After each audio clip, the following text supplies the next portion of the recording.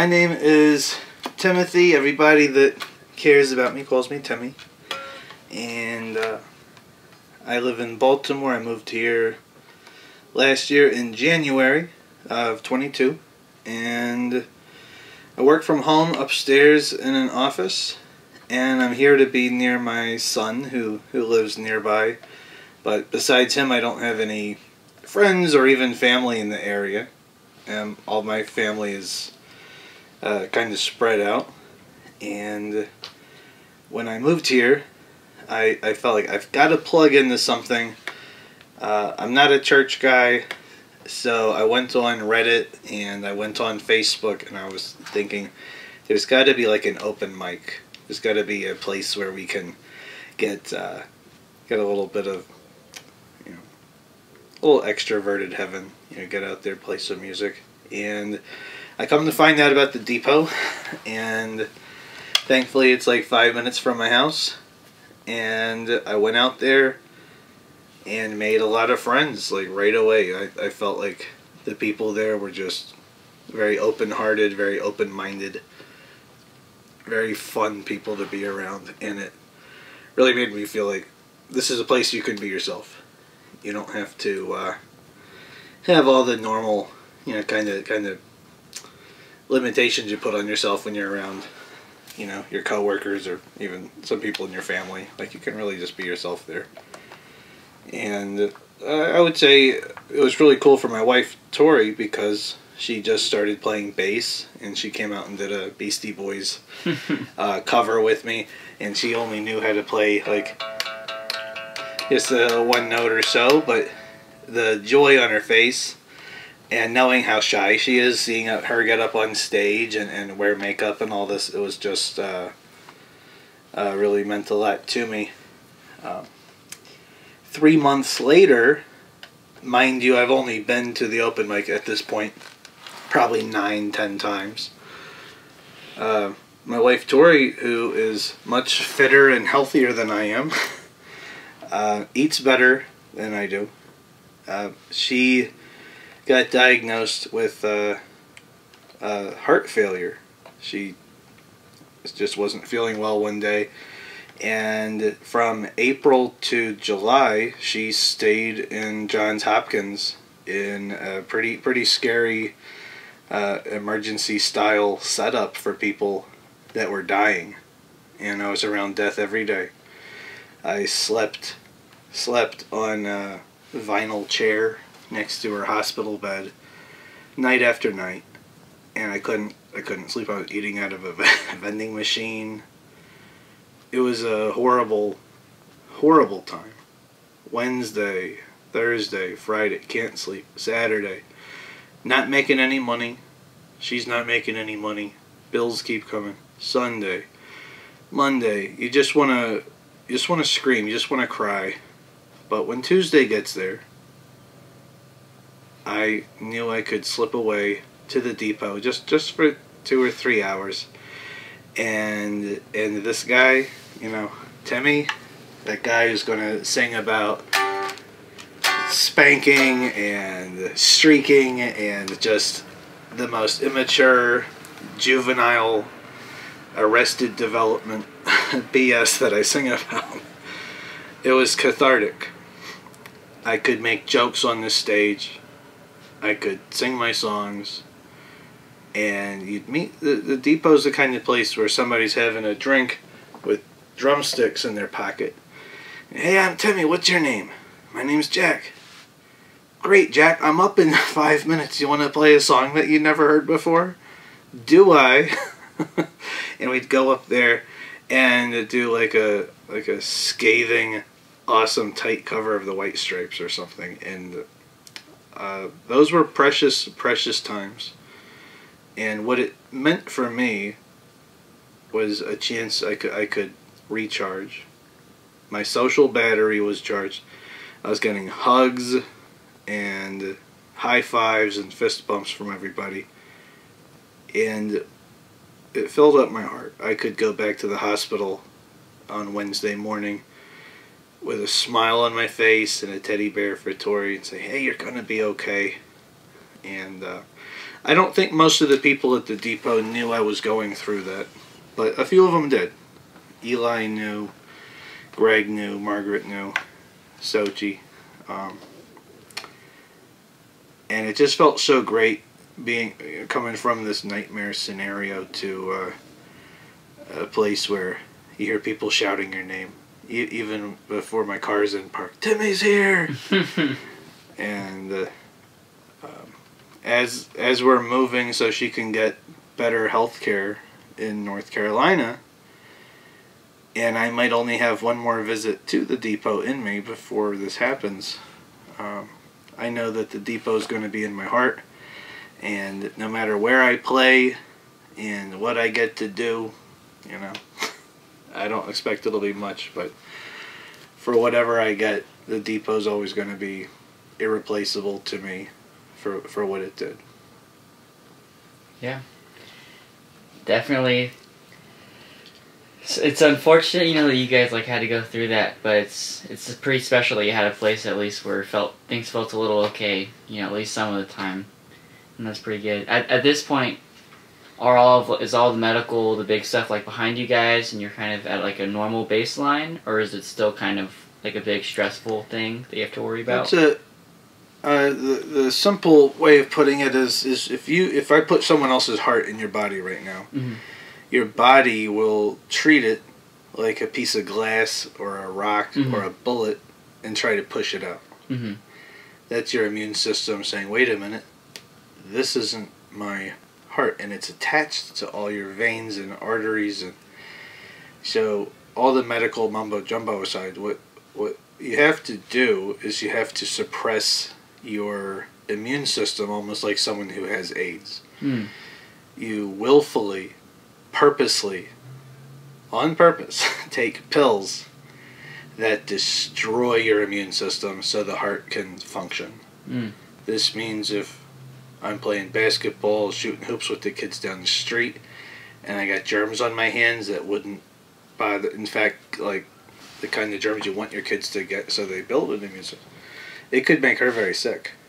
So she's always walking or washing her hands. She wears a Mm. mask, and uh, it's tough. But with that, um, it's been almost a year, and she's getting much much better, and she in a couple years we'll be able to resume a lot of she'll never be completely back the way she was but uh, you never know I, I don't think she's seen her last uh, appearance at the depot personally i think that uh, there might be a like a two three year reunion get back up there Hell yeah, definitely hope so. That'd be really cool. Yeah, you definitely. Um, I think that at the showcase a few weeks ago, uh, everybody was really moved by the song that you wrote about that experience. Was that? Did you write that like during that time, or was it kind of after the fact, after the hospital and everything? Well, thank you. It, it wasn't a, a great performance. We had a lot of technical issues, sadly, which uh, you know I think a better performer kind of blocks it out. But uh, I might have been a little affected. And then there's the emotion of it. But I wrote that while she was in the in the hospital, and I was just sitting on it for uh, waiting waiting for like a really good time to to, to bust it out. And, and one day I'd like to record it and you know, pass it along you know, to my friends and stuff. Do a nice, clean recording. So if Yeah. you know anybody that would like to record it, you know, send them my way. Nice. Yeah, it's definitely a special song. Um, I guess maybe just a couple more questions, if that's okay. Are you doing okay on time? Yeah. Okay, cool. So, like when you when you were like going through that, other than the depot, like were there any kinds of like thoughts or things that like gave you hope or made you feel okay about the situation? Or like looking back after the fact, do you feel like there was any things that you guys learned together going through that? Or was it just a really hard experience? I don't think I ever thought she was not gonna make it. Um, and uh, you know, I, I think I think uh, some people would say I, I had a lot of courage. Um, the truth is, I was probably just in a lot of denial and the shock but somewhere in the middle is the truth. I, I was courageously denying it, and uh, I I think that when you really love somebody, you just you really can't imagine things going. You you you think about it once in a while, but you can't seriously imagine it, and and that's. I just kept uh, thinking about one day, you know, being at the beach, throwing a little old Nerf football or something around, and uh, being on the other side of this. That's what kept me going. Definitely, yeah. That's that. That makes a lot of sense. I guess maybe a little bit of lighter question. Um, like, how long have you been doing music for? Like, what got you into it? Were you ever in any bands, or has it always been kind of a solo thing? I used to do, uh, you know, Lord, I lift your name on high. Lord, I love to sing your praises. I used to like the church stuff when I was a little kid, and then we were in a church that was like, well, we don't do guitar, we just do hymns. And then uh, kind of got away from it for years. I've never actually been in, in a actual band, um, but I'd like to be. And if it ever happens, I want to call it Captain Timmy and the Seaman. That's mine. That's mine.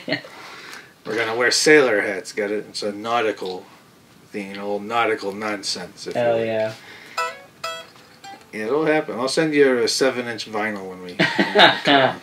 Hell yeah. That sounds that sounds pretty awesome. And like for how long I guess like at what age did you stop doing all of like the churchy stuff? well, I went to a Christian college, uh, and I actually wrote a book about this. It's called Preacher Boy. If it, it, I didn't say it's good, I, I it just exists, but. Uh, it was that or blowing my head off, I guess. Uh, I was 22 and about to get divorced to my first wife, uh, who will go nameless. Uh, we had nothing in common. We only got married because you know we were the first kiss for each other, and it, it was just that Christian college Mhm. thing. I voted for Obama. She did not vote for Obama. we, we just became different people, and once we uh, once we got out of uh, school, I uh, actually became an atheist after like six years of theology studies. Uh, It was the most important thing to me, and uh, I I have a lot of friends that are still religious, but for me personally, I'm I'm consider myself a humanist. Mm. We got divorced, and uh, got into a little bit of a dark period there, uh, but I discovered my love of music again when Tori came into my life. So we've been together since 2012. So 11 years now, Hell yeah. and she introduced me to Bon Iver, and uh, I got her into the Lumineers, and just everything in between. So Nice. That's definitely awesome. Is is music kind of like the main like, or I guess outside of your relationship, like, like the main like passion that's like in your life, or are there other things yeah, too? yeah, but you don't have to, you know, be playing music to have music. You could, uh, you know, if if you uh, go to a beach and nobody's around, you decide to get naked and charge into the water. th- that's something musical about that too. Or just putting your window down, you know, going for a ride and you put your hand up. Uh, there's there's music in everything, Mhm. and uh, when when you absorb all that in, in real life and you have something like a guitar, it just it just comes out. Hmm. You just want to. Uh, I, I don't think that I create music so much as I, I'm like a translator. Hmm. I'm just using this is uh, me translating my feelings about the world to you, and hoping that when you listen to the song, maybe you feel a little bit like how I'm feeling. Yeah. I that's. I don't think I've ever heard it put that way, but um, I think that's like a very beautiful and like powerful idea. Honestly, Uh, that it really resonates with me. Yeah, Like I'm, just, I- I'm just a translator. Yeah, that's that's that's, that's pretty awesome. Honestly, that makes a lot of sense. Appreciate that. Yeah, definitely. I guess um so I also like I grew up Mormon and I left the church and stuff. Just wondering, were there were there any kind of like figures or or anything that really helped you kind of like leave religion or was it a purely personal thing? I was in a class um, called Apologetics, Okay. and they're like, you know, the world's only four thousand years old, and you're gonna meet people out there um, who are gonna tell you it's millions of years old, and there's dinosaurs and all this stuff, and like, so we need to have an answer for those people, but uh, if you don't read them in their own words, you're never gonna stand a chance.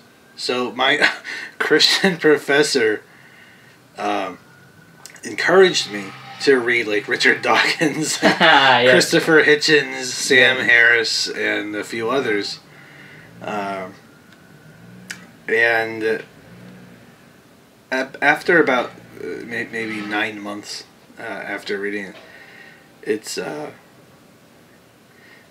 it's like if I believed I had my wallet in my pocket and I just checked. That's what Yeah. happened with religion. I just one. It's not that I threw it away. Mhm. I woke up one day and I just didn't. And, and then the talking animals just looked really bad after af, after that. Um, so and the genocide and the Mhm. the, the yeah all the other things that are in there. Did you ever come across uh, James Randi by any chance during that time? I met James Randi. You met James Yeah, Randi? very short in real life. Very short guy. How did you meet that guy? I met him at uh, it was 2012. I want to say might have been 2011. Uh, it was something called the Reason Rally. Yep. R- Richard Dawkins was speaking in Washington D.C. James Randi was there. They had a bunch of videos from like Bill Maher and Penn Jillette, and Tim Minchin was there. If you know who he is, Australian comic, uh, pianist uh, extraordinaire. Bad Religion played for three hours. Nice. Which was that was my first exposure to Bad Religion. But uh, in my attempts to get Tim Minchin's attention, because he's a genius, look him up. That's M I N C H I N. Tim Minchin, absolute uh, brilliant. But uh, I see a little wizard character is like three feet tall, and uh, his husband, and uh, I was like, "Fuck me, it's James Randi." Uh, so he was taking pictures. Uh, someone ha- handed him a prop of uh, a wizard staff and had him stand like this. And he's guy had a great sense of humor. He actually gave me a hug, oh, and nice. Yeah. And I said that I went to Liberty University, and he, he, he did this. He says, maybe, maybe there is a God, because that is a miracle that you could come out of that and be here. Very funny guy. I'm, not, I'm not sure if he's still with us anymore, but Yeah, I can't remember if he passed recently or not, but yeah, that's one of one of my like personal heroes. Like when I was Really? leaving the church, I found like all of his, his old shows from the '80s, like debunking paranormal activity and stuff. I just would watch them on YouTube, and just like his personality was so down to earth. So yeah, I think I think that the skeptic community is pretty cool. Like I don't follow it hardcore, but I have a lot of respect for what they're doing. You know, seem like pretty cool people. I used to be kind of the, the fedora atheist Yeah, killjoy, but but uh, I would say now I'm like post religious Mhm. because if you make your whole identity, it, it's like religion still won. The damage is done. You're Yeah. Still, I'm like, oh well, you know, happy Easter to you, and get that get that chocolate when it goes on sale Monday. Yep. so exactly. I try to live and let live. Uh, I am very happy with where I'm at with it right now because it doesn't. Uh, I don't wake up feeling like a crusader on Mhm. one side or the other. It's it's. I'm just not. I'm in a ceasefire right now. Nice. Which is nice. Heck yeah. So I guess um, you know, now that you're coming up on your move, um, are there like any things that you're like looking forward to in the future or excited to find over in North Carolina? Yeah, um, I have uh, kind kind of uh, since my dad died in 2011, right before I got uh, right got got with Tori. Uh, I've hovered between about 260 pounds and up to about 320, 330 pounds, and I've become so uncomfortable in my skin that it's uh, taken me to some really challenging places with my mental health, and uh, I really, really needed help. It, it, but right now, the thing that's a little bit more in vogue is like, no, you slay queen, be 330 pounds. like, I appreciate the thought behind it, but like, I'm sweating tying my shoes and my arm is going numb. So Yeah. maybe, like, also, maybe I can slay on the treadmill. yep. Sissy up that walk on the stair stepper, you know? Right. So I feel like moving to North Carolina, I'm in a good, like I, I've just recently lost uh, uh, 25 pounds almost. So I feel like in North Carolina, I can start kayaking and, you know, be a little crunchy. Maybe I'll grow a man bun, start hiking. yeah. So I'll be your size when I, uh, not quite, but I'll be a little smaller when I come back to Baltimore. Heck hopefully. yeah. You'll lose some weight and then I'll gain some weight and Yeah, we'll hey, be, I'll give we'll you some. right you want you want some? Heck yeah. Let's go to the surgeon and then swap a little bit of things. let's go to. Bogota. Best of both worlds. the guy in the van, he'll do it for cheap. Heck yeah. That's awesome. Um, no, that's definitely good. I, I hope that you're able to find like that healthy lifestyle and, and feel comfortable with yourself, you know? It's a big, uh, I guess like one of the best things you can do is like be active, you know? So that's, uh, good things coming, hopefully. Do you think, uh, you'll ever come back to like visit Baltimore at any point? Well, I'll be up in the area quite a bit. Um, my uh, nudist joint where I can camp for 50 bucks a night. Much cheaper than a hotel, and you can't get in the hot tub like that at uh, Holiday Inn, so keep that in mind. Yeah. Uh, but You're not supposed to. you're not supposed to. Always do what you're told. So, but my son lives uh, nearby, so if I come up to to visit, uh, if I come up to visit him, uh, he's just forty minutes down the road. So I figure there's got to be a time where I come up. I spend Friday, Saturday, Sunday. Maybe I camp out one more night and I hunt the depot. Heck just yeah. drive back on Wednesday. Sort of, yeah, kind of rub elbows with the with the fellas again. It'd be nice. And the, the fellas and the and the ladies and both and neither. And got them all. Everything in between. Heck yeah. Uh, that's awesome. Um, yeah, is there, are there any, anything that like you really want to say on camera, like before I let you go? Um, appreciate it while it's happening. Um, I'm a little older, and part of me wants to lie about my age so I can be cool and be one of the, the, the cool kids. But uh, I'm going to be 38 next month. Uh, I might not look it. Um, you don't know you're in the good old days until they're gone. Um, I see people come out and they put their name on the list and then they cross it out and they leave at 9 o'clock to, to lay in bed and doom scroll and uh, you gotta live your life while you're living. One day you might have late stage heart failure. One day you might go to a place like the depot and it's closed. And you find out, you know, the, I don't mean to bring it all down, but the optimum point of power in your life is now. Don't let the past determine who you are. Don't paralyze yourself worried about the future. If you can make a difference in someone's life, if you can bring somebody joy, wisdom, truth, love, beauty, or just tickle their ass, you know, do it now. Don't put it off. That's what I'd say. Yeah. Well, I definitely appreciate your time, Timmy. There's a lot of, a lot of great stuff that you shared, so I thank you very much. And big shout out to Bailey, Christine, Eli, Xochi, the OG crew, everybody. You know who you are at the depot. I keep you in my heart forever.